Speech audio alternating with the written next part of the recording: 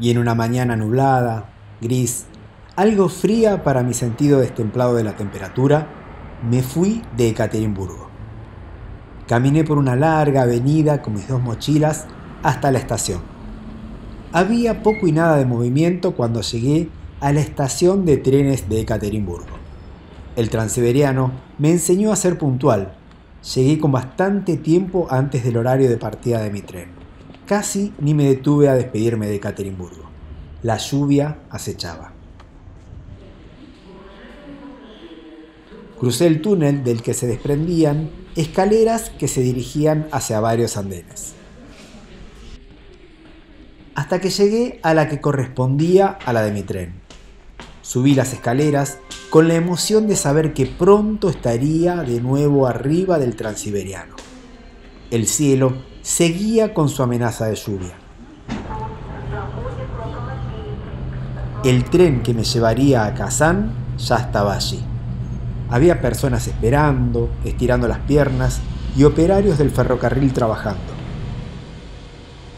Caminé para ir en busca de mi vagón. Cuando lo encontré, subí para dejar las mochilas y así recorrer tranquilo el andén esperando a que parta el tren. Esa es mi mochila que me ha acompañado por medio mundo.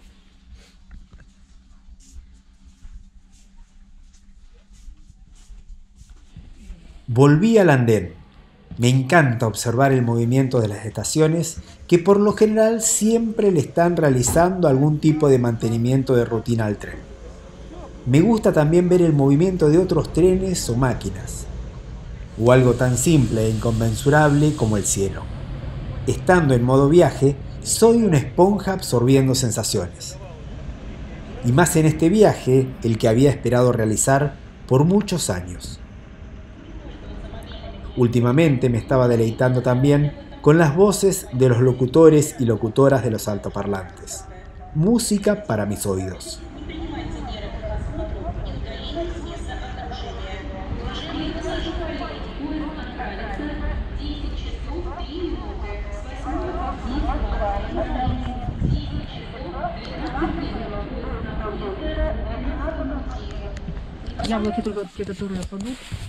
Y llegó el momento de partir. Había poca gente en el vagón.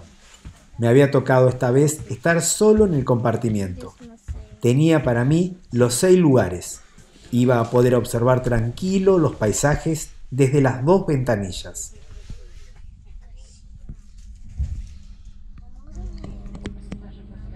Allá, detrás de todas esas vías y debajo de esas nubes, estaba Ekaterimburgo. Mi objetivo de este tramo, la ciudad de Kazán, ubicada a 745 kilómetros de distancia.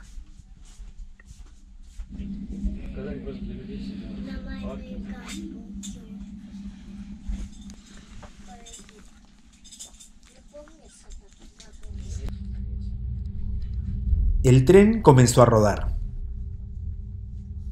Cuando apenas va arrancando, el sonido del transiberiano es casi imperceptible.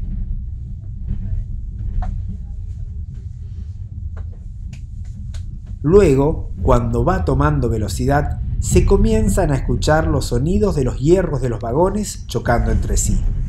Pero lo hacen con algo de timidez, como queriendo no molestar.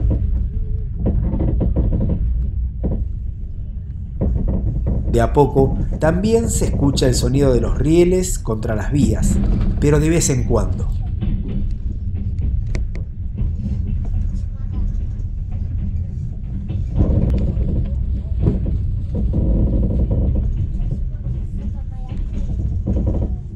Mientras tanto, Ekaterimburgo iba quedando detrás.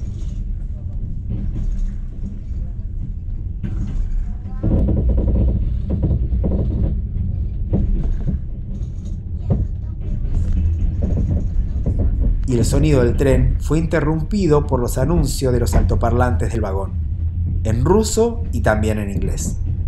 Приоритетом в работе является обеспечение вашего комфортного и безопасного путешествия.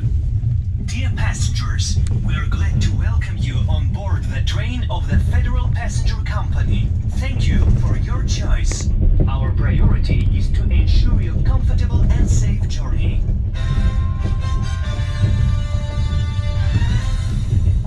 Время нахождения в поезде, пожалуйста, соблюдайте правила перевозок пассажиров.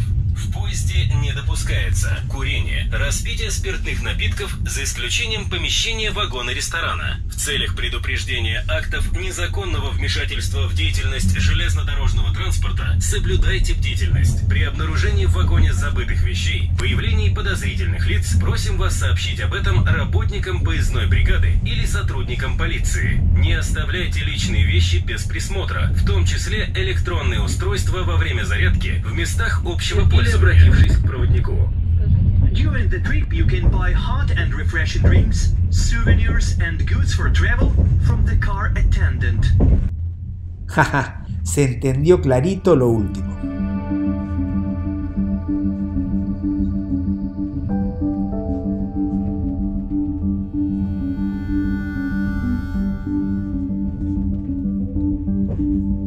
El tren comenzó con su regalo de paisajes.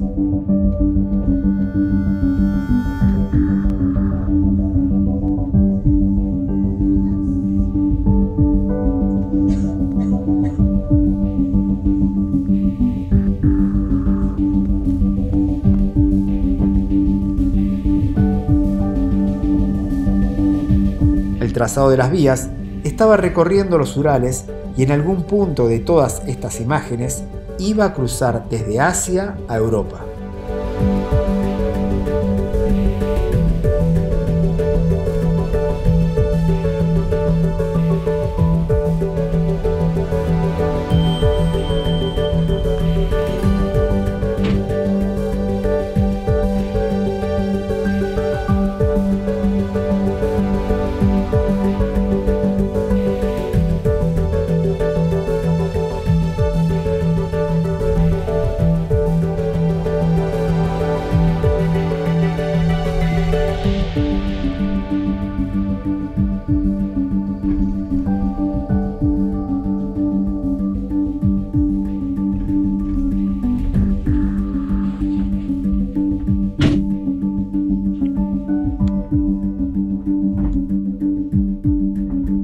Pronto llegamos a un pequeño pueblo, Drusinino. Este pueblo tiene alrededor de 300 habitantes.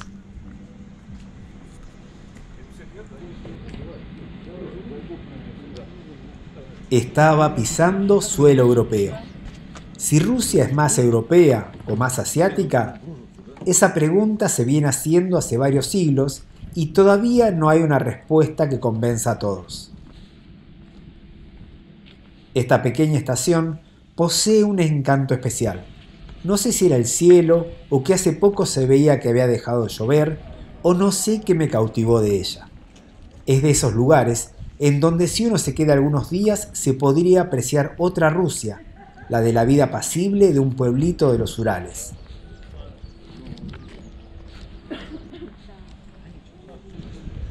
El cielo amenazaba con una lluvia inminente.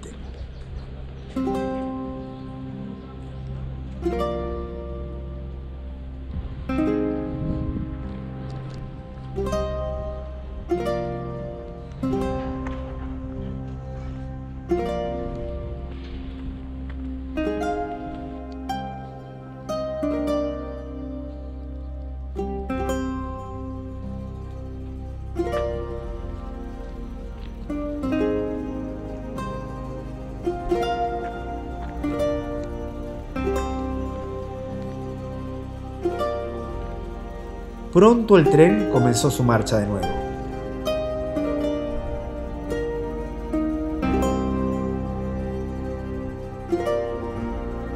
Atrás había quedado Asia. Con el correr de los kilómetros me iba adentrando cada vez más hacia la Rusia europea.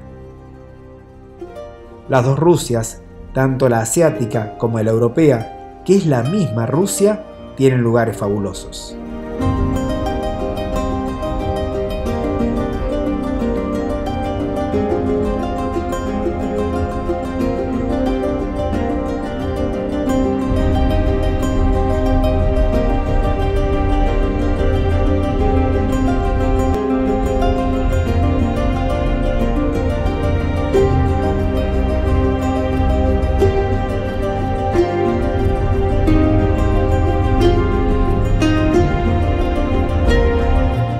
Tramo del Transiberiano se asemejaba más a los paisajes que había imaginado previo a comenzar este viaje. Así me había imaginado a Siberia. Expectativa versus realidad.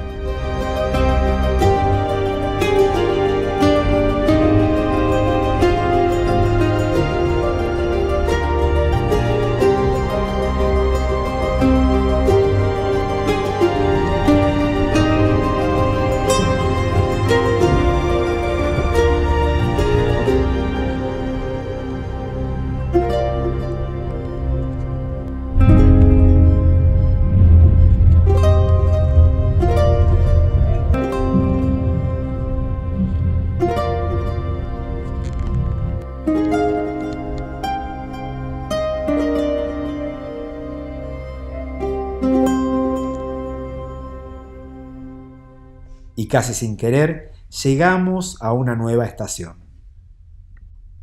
Krasnofinsk, una ciudad de 40.000 habitantes aproximadamente. El tren había recorrido 224 kilómetros desde Caterimburgo. Las nubes se habían disipado un poco y comenzaba a aparecer el sol, o al menos algunos rayos intermitentes.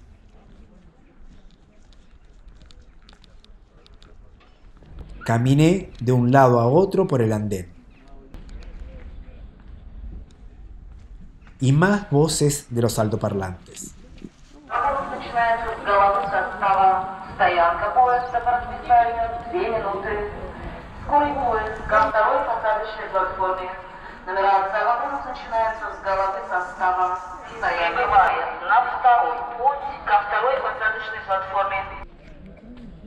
En unos momentos más, el tren comenzaría su recorrido.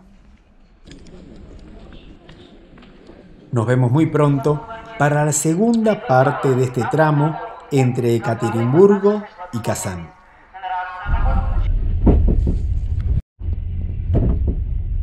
Si les gustó el video, denle like, activen la campanita para las novedades y no se olviden de suscribirse a mi canal, así me ayudan a que pueda seguir subiendo más contenidos. Muchas gracias. Nos vemos muy pronto.